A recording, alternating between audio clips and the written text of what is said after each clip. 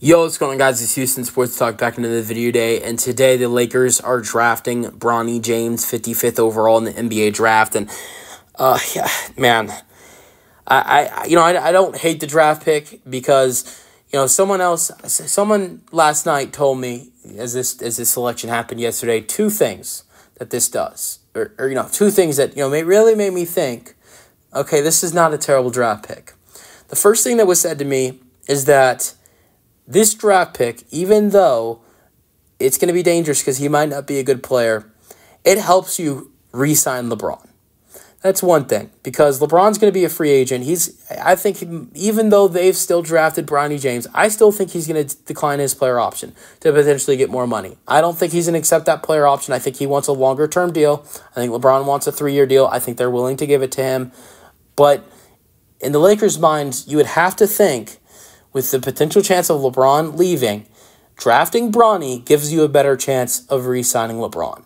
And then the other the other thing that this person told me is that why why is everybody complaining about you know LeBron having his son on his team and you know Bronny James being on the Lakers when you got the Milwaukee Bucks and, and Giannis Antetokounmpo having his brother the uh, Giannis Antetokounmpo on their roster and you could argue that you know Giannis's brother Thanasis is just as bad as Bronny is. I mean, look, I'm not gonna. I've heard people say, you know, Thanasis was a first round pick before, uh, bef- before Giannis was even relevant. I agree with that.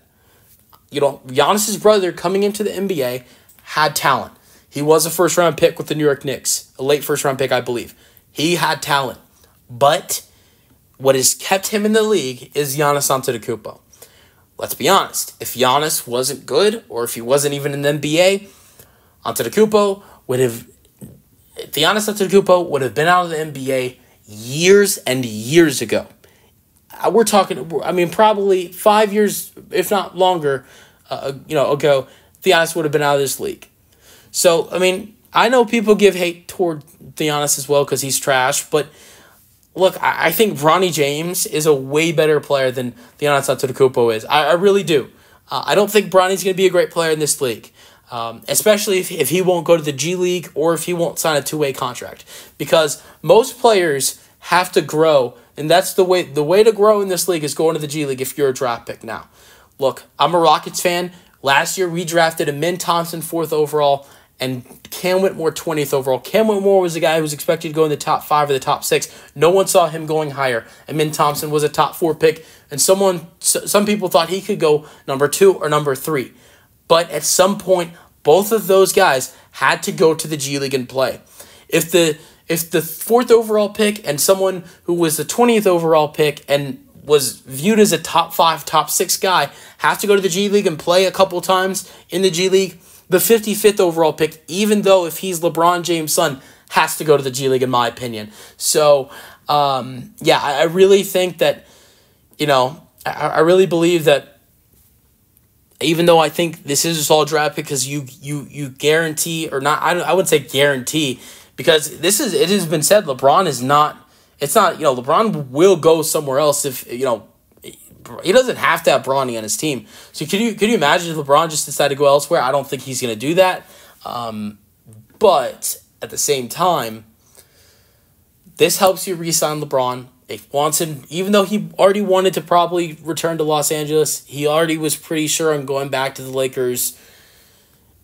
This helps you re-sign LeBron and you you could try to develop him. I don't think he's going to turn into a great player, but I think he actually has a chance. Unlike someone who has been who's who stayed in the league for years because of their family member and Giannis Antetokounmpo. Uh, because he, he he's a solid defender. Uh, he definitely could turn into a decent shooter if they work on his shot. So he, you know he and he you know he has the best person you know teaching him how to play in this league and his father with LeBron. So you know I'm I'm interested to see how things work out for him. I'm not too I'm not too believe I'm not too hopeful in him, but I like I said, I think for 55th overall pick, it's not terrible, um, but I don't think it'll end up well for this Lakers team. But at the same time, if he ends up being terrible, it's going to turn into you know Thanasis Antetokounmpo thing where he stays on the Lakers or stays on stays in the NBA because of his brother. Uh, well, this one would be because because of his dad, not his brother. Let me your thoughts on the draft pick for the Lakers in the comment section, and peace out.